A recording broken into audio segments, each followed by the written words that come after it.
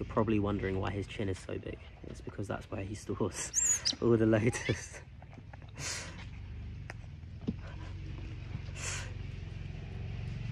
I'm very dirty. Hello, you going back up?